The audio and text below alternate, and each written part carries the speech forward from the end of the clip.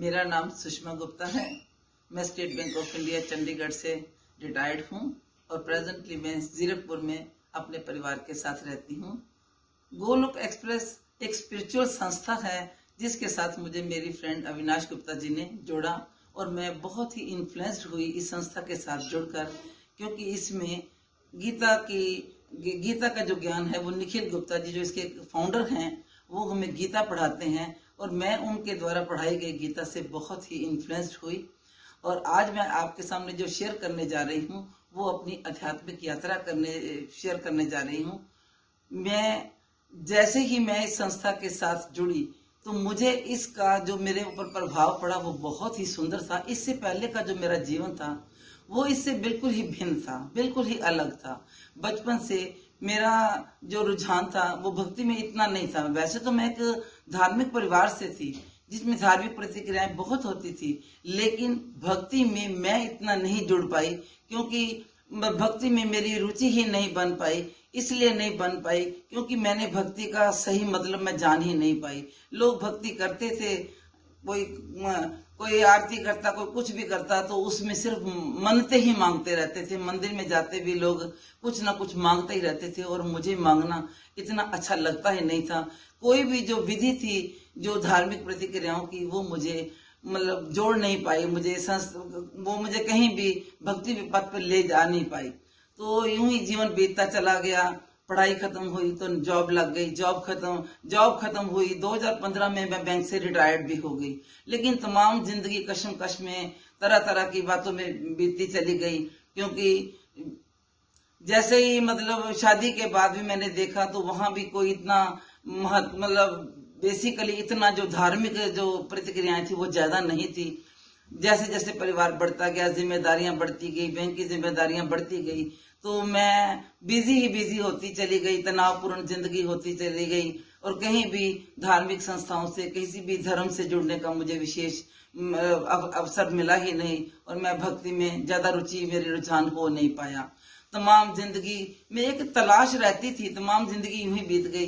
इतनी तरह मतलब तलाश थी कि मुझे कोई ऐसी संस्था मिले, कोई ऐसा मुझे मार्गदर्शक मिले, मुझे मेरे जीवन को सही दशा मिले, लेकिन ऐसी मेरी स्थिति मेरे जीवन में नहीं आ पाई, क्योंकि गीता के बारे में मैं सुनती थी और सुन के मतलब मुझे गीता समझ नहीं आती थी। बहुत लोगों से मुझे गीता गिफ्ट में भी मिली, लेकिन गीता मेरे अंदर नहीं जा पाई।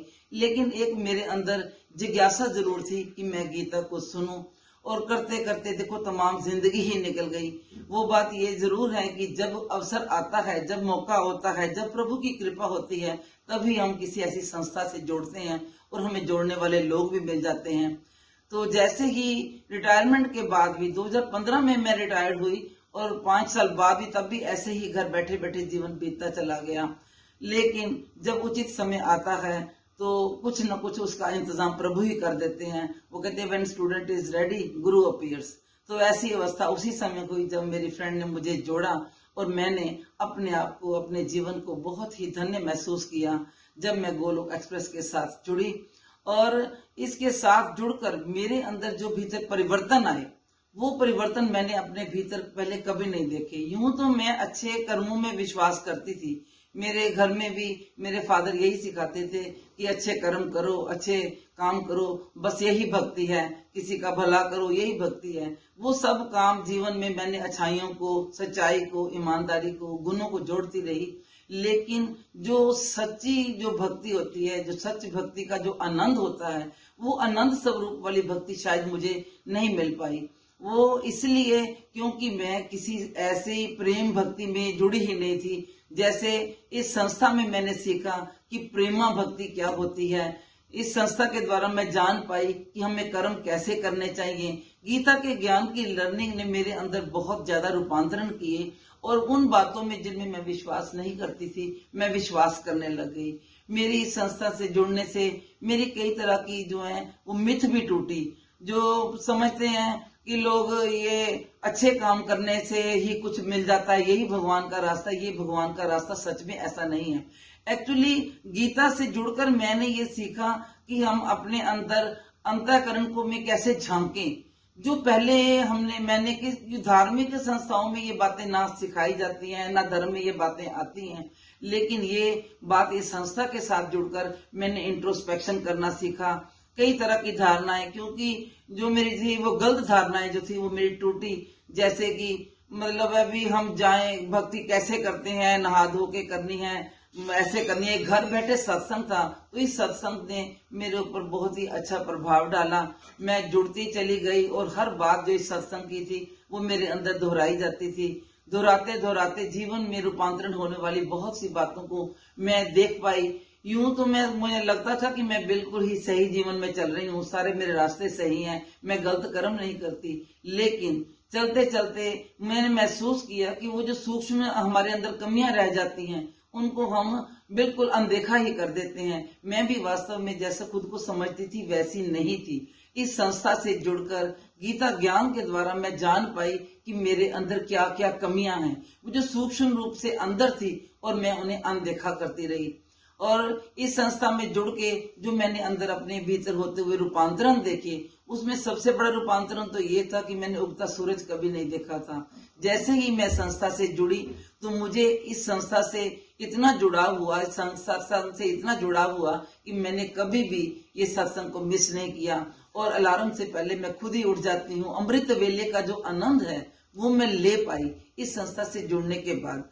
और अपने अंदर जो मैंने रूपांतरण देखे, वो ये देखे कि कभी मैंने मतलब रेगुलर कोई पूजा पाठ नहीं किया था, कभी मैंने माला द्वारा कोई सिमरन नहीं किया था, कभी मैं प्रेमा भक्ति में भगवान की खोई ही नहीं थी, कभी मैंने भोग नहीं लगा के देखा था। वो मुझे लगता है कि वो चीज़ें शायद अहम वशी होती हैं और मुझे लगता था कि मेरे में अहम नहीं है। लेकिन सूक्ष्म रूप में हमारे अंदर कुछ चीज़ें ऐसी रह जाती हैं जिसको हम देख नहीं पाते। लेकिन गीता ज्ञान द्वारा मैं अपने आप को बहुत गहराई से सोच पाई, देख पाई इंट्रोस्पेक्शन कर पाई और अपने भीतर बहुत से सुधार ला पाई। रिलेशंस को मैंने बहुत सुधारा क्रिटिसिज्म को बहुत कम किया, क्रोध को मैंने बहुत कम किया एक्चुअली बात ये हुई कि मुझे दिशा सही मिली। जैसे ही सही दिशा मिली इस संस्था के द्वारा तो मेरी जीवन की जो दशा थी, वो सुधरने लग गई। जीवन आनंदित होने लग गया, मन तरंगित होने लग गया। मैं हर समय इसी भावनाओं में खोई रहती थी कि भगवान की बातें करना, भगवान से जुड़े रहना, भगवान का माला सिमरन करना। फ्रेंड्स मैं गोलो की कुछ और विशेषताएँ भी बताना चाहूँगी। मुझे जो इसलिए बहुत पसंद है ये टू वे प्रोसेस है। सत्संग के बाद जो साधक हैं, वो रिव्यूज़ देते हैं। उनके रिव्यूज़ अप्रिशिएट होते हैं। तो बहुत ही अप्रिशिएटिव मॉडल है। बहुत ही फ्लेक्सिबल मॉडल है। तो ये बहुत ही दूसरा एक सत्संग हो जाता है। तो मुझे ये बातें इतनी पसंद है। घर बैठे ही सत्संग मिलता है, मोबाइल से सत्संग मिलता है। कुछ भी काम करते हम सत्संग सुन सकते हैं। और सत्संग के जो सूत्र हैं, हमारे जीवन में जो अंतरकरण में हमारा रूपांतरण करते हैं, वो सच में बहुत ही सुंदर हैं। और सत्संग से जुड़कर ये मैंने जाना है कि सत्संग हमारे जीवन का कितने, कितना ज़रूरी है हमारे जीवन के लिए। हमारे जीवन का श्रृंगार होता है, हमारे भक्ति में चमक आती है, जीवन का सौंदर्य बढ़ता है। सच में, मैं तो सब लोगों से ये कहना चाहूँगी कि सभी लोग, सभी साधक लोग जो घर में बैठे टाइम वेस्ट करते हैं, वो जुड़े सत्संग के साथ और अध्यात्म के जो अध्यात्म की जो खास बातें हैं, उनको जीवन में लाकर, जीवन का सौंदर्य बढ़ाएँ, जीवन में चमक लाएँ, और सुख, जो सच्चा सुख है, जो सच्ची भक्ति है, जो सचित आनंद स्वरूप है परमात्मा का, उसका आनंद उठाएँ, अपने जीवन में उसका, उसको देख पाए, इस जीवन को स्वर्ग सा सुंदर बनाएँ, ये जीवन ही इसी में स्वर्ग है, इसी को आनंद लीजिए, प्रेम भक्ति से जुड़िए, और प्रभु से जुड़कर ही इस आनंद को आप ले सकते हैं। हरी हरी बोल हरी हरी बोल।